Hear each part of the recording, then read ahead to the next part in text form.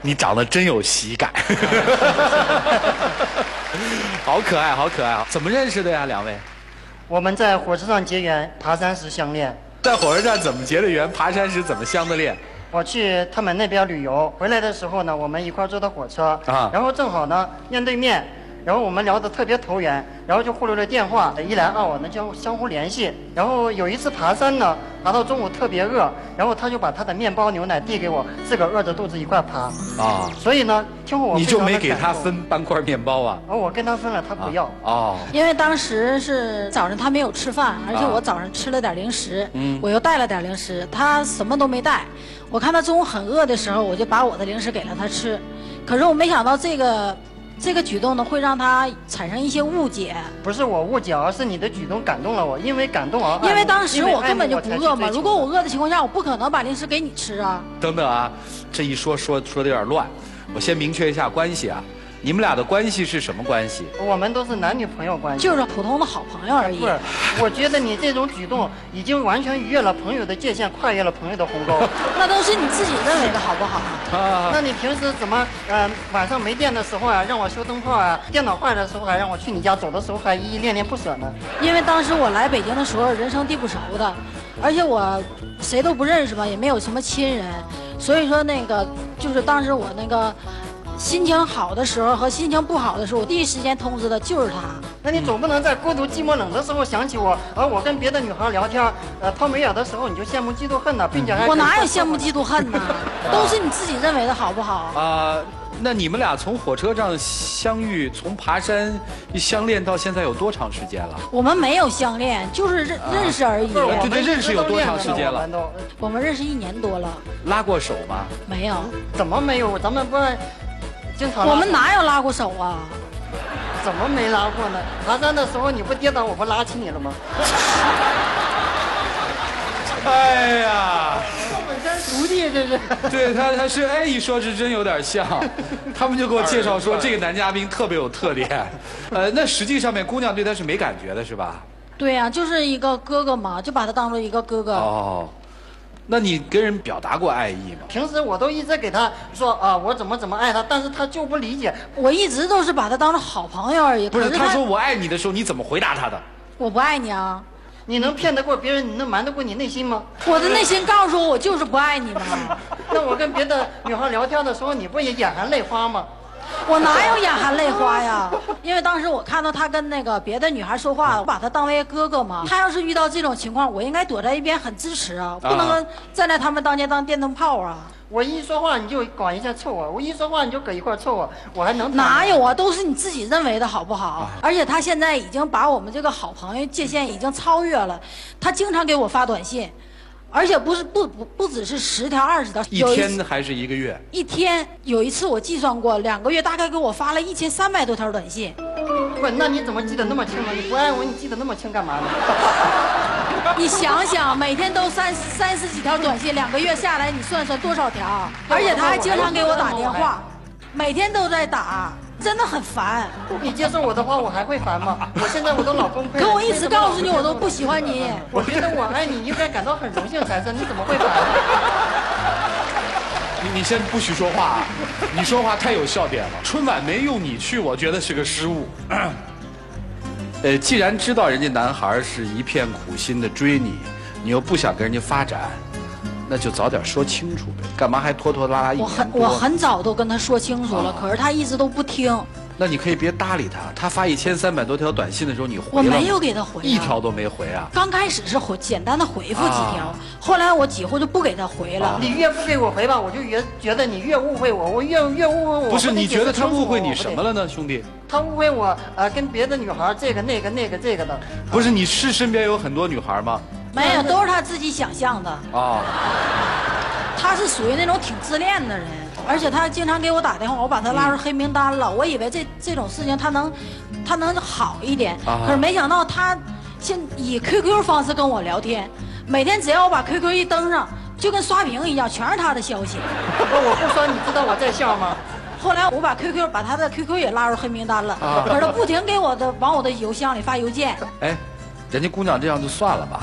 不，这个事儿我觉得不能算。假如说我们不曾相逢，也许心绪永远不会沉重。如果真的失之交臂，我们都一生不得轻松。你是涂磊老师的学生，我听出来了，说话都是一套一套的，像你学生吧？啊，像像像，你觉得你，今天来就是希望跟他牵手的是吧？啊，对，你今天来就是为了跟他说清楚的是吧？对。小李啊，嗯，你谈过恋爱吗？以前我谈过呀，我在大学期间我就是一直谈呢，谈了几个啊？呃谈了我也不知道，很多是吗？应该是我谈的很多，但是接受我的很少。就是都在心里跟人谈是吧？啊，对他们都是那种得到他们的心却得不到他们的人的那种。你的意思是说你也得到了这姑娘的心了是吧？啊，对，我觉得我我已经把她的心牢牢把握住了。啊，好吧，好吧，你喜欢这姑娘什么呀？主要就是她因为感动，啊，你不能老靠感动过日子呀！不就给你一杯奶一个面包吗？下一个姑娘要给你两杯牛奶仨面包，你是不是也感动吗？你喜欢她什么？我单觉得你看？在什么情况下啊给我面包的。啊如果在我饿的情况下给我面包和牛奶，我觉得那就是感动；如果在我不饿的话，那给我牛奶面包我撑得慌呢，对对是吧？我能感动吗？就这么天天缠着。对呀、他现在就是经常接送我下班，而且他还跟我周边的同事说，他是我男朋友，我很依赖他，很喜欢他，我亲过他，抱过他。我什么时候亲过你啊？我什么时候抱过你啊？呃，不，这些流言蜚语你也能信吗？这些闲言碎语，你不说他们怎么会说？怎么会会传到我的耳边呢？这这这行了，姑娘，我看你是逃不出他的手心了。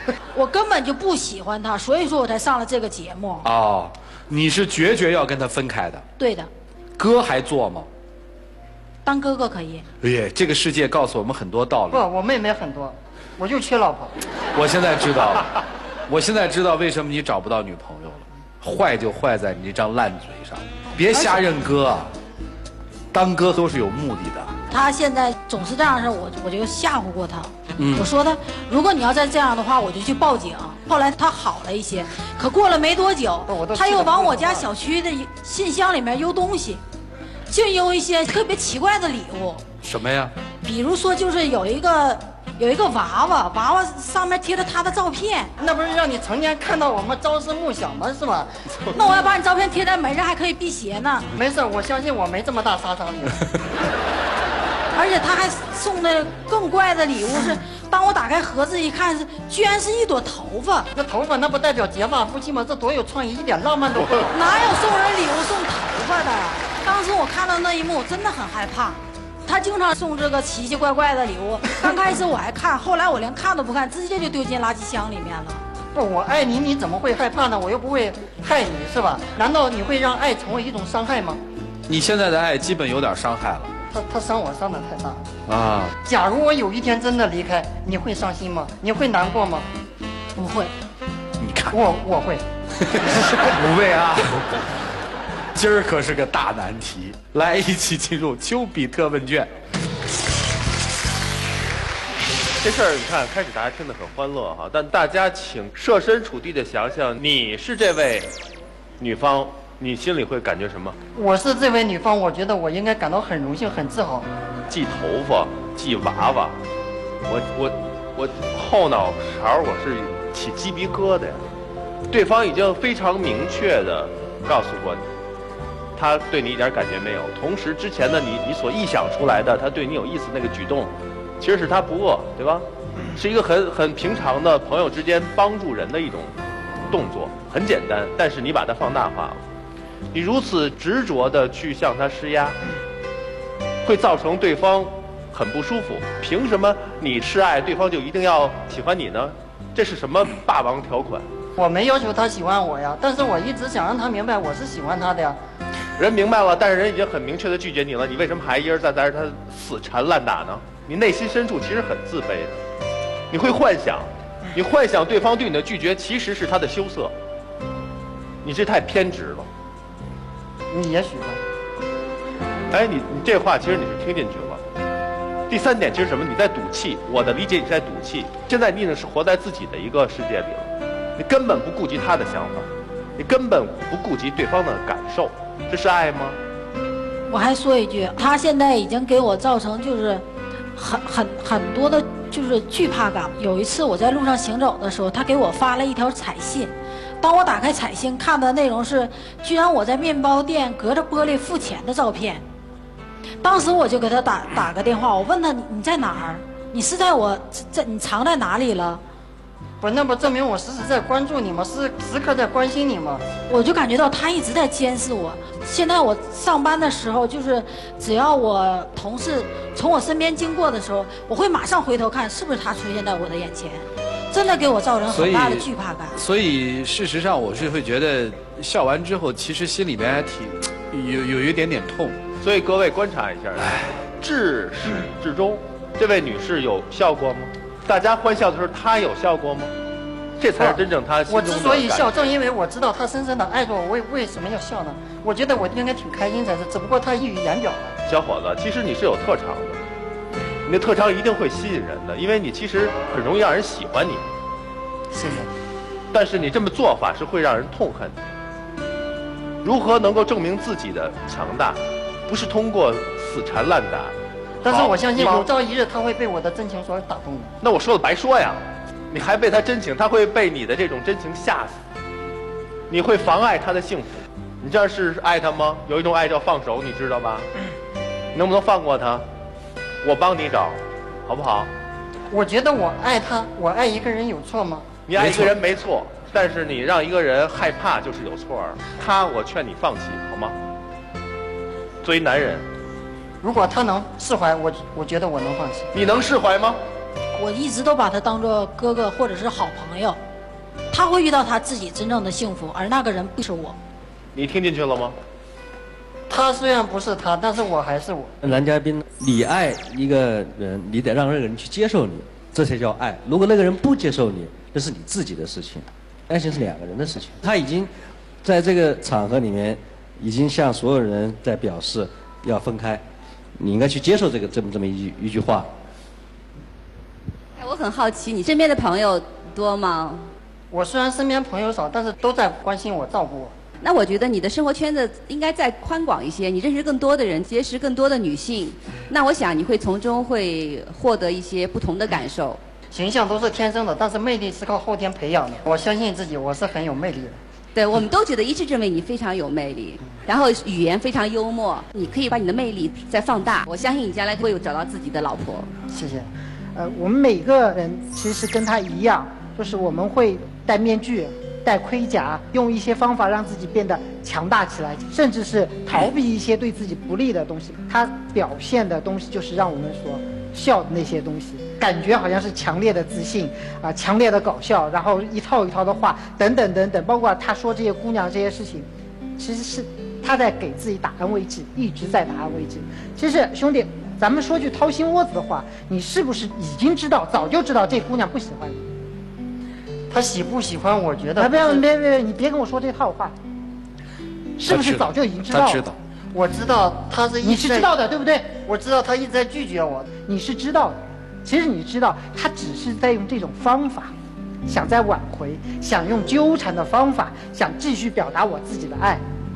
你是一个有人格魅力的人，一个有人格魅力的人是不需要靠长相来弥补自己的，一个有人格魅力的人是不需要去靠套话、空话，甚至自己骗自己来强大自己的。你走到任何一个角落，跟所有人去做正常的交流，大家都会喜欢你，没有任何问题。但是你为什么要去跟踪人家？为什么要一次一次的去做那些明知道他不喜欢的事情，但你还是要去做呢？我觉得吧，他想的太严重了，我还不至于跟踪是吧？兄弟，我跟你这么说吧，我坚信你未来可以找到一个很好的女朋友，但是你必须要把这种追姑娘的方式抛弃掉，你愿不愿意？愿意。以后你就跟姑娘或者跟别人，我们实实在在的交流。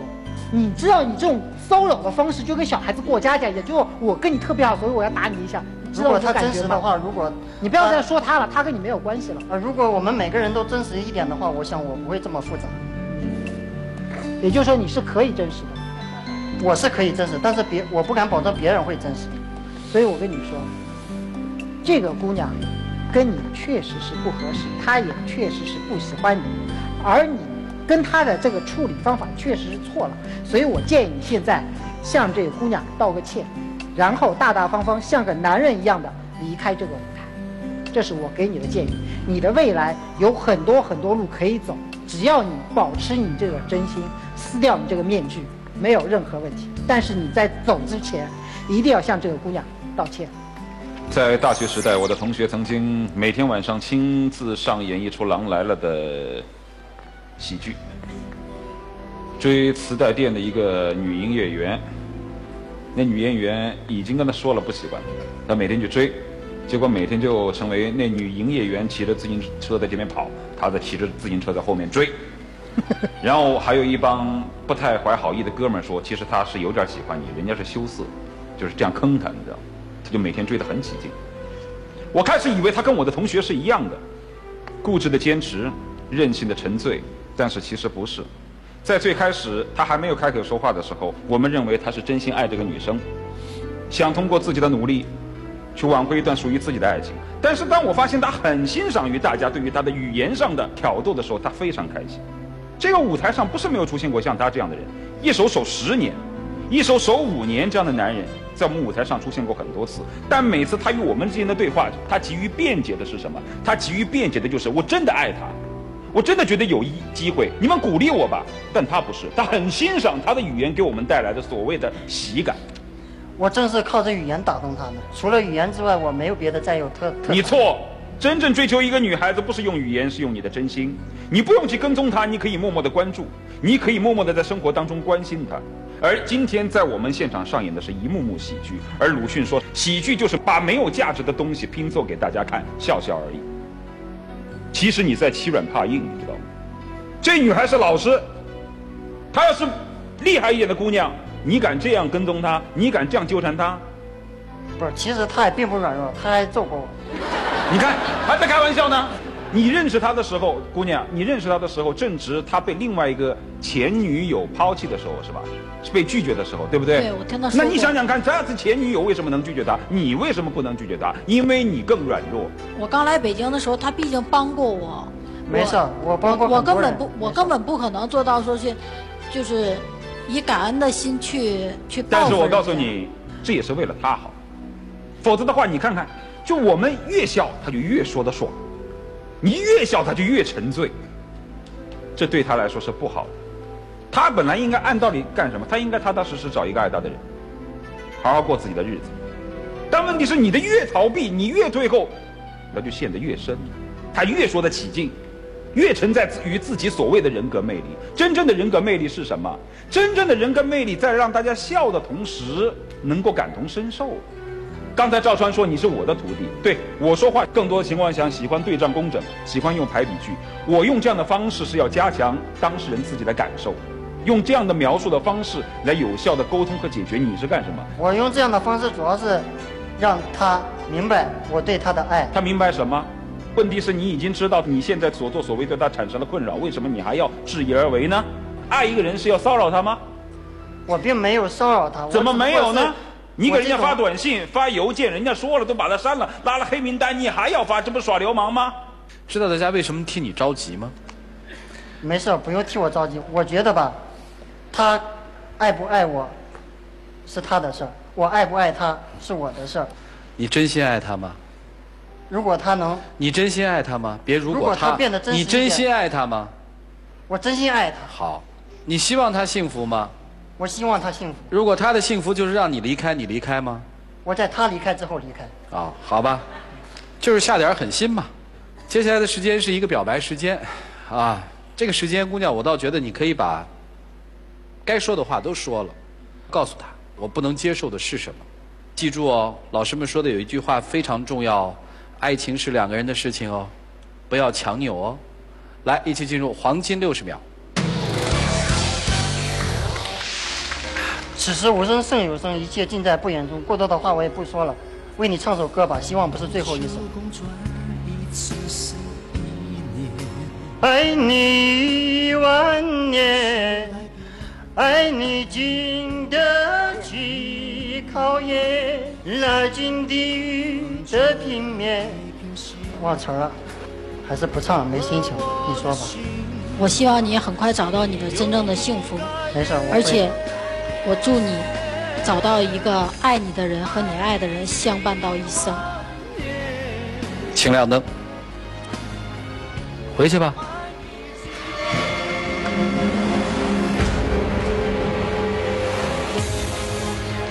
来，请关门。不管对这个男生的评价，我们做怎样的评价哈，有一点是要提醒现场的女性朋友的，甚至在这个地方，我还想让陆琪老师给一些建议，因为在现实生活当中，我们可能会碰到一些类似于像这位先生这样的死缠烂打的人。当我们碰到这些人的时候，如何让对方在最早的时间里面就了解你真实的想法？有效的方式是什么？它是有几个方式的。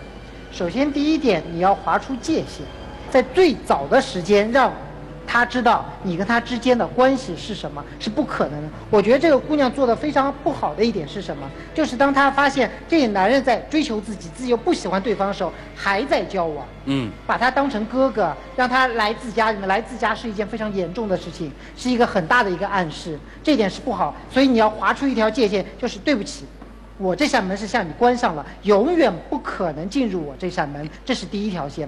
第二条线是要让自己的同事跟朋友知道跟这个人之间的关系，就不能让朋友跟同事成为他的帮凶。这姑娘的同事就经常泄露他的一些东西。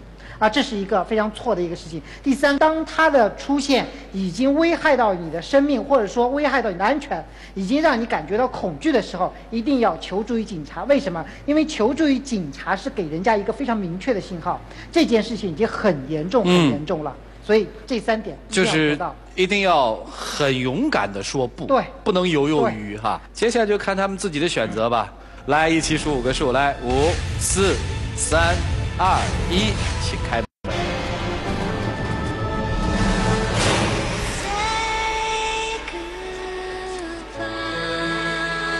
跟他说再见呗。没事，那我只能不舍得说一句再见，遗憾的道一声随缘了。嗯，我希望他能过得幸福。不再纠缠人家了。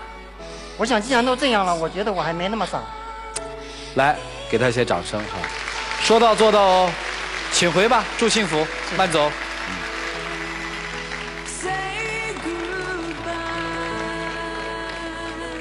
坚决有的时候是一种力量，回绝也要回得很死啊。执着到了一定的时候，就变成了执拗，或许被变成一个天下的笑谈。接下来看到的。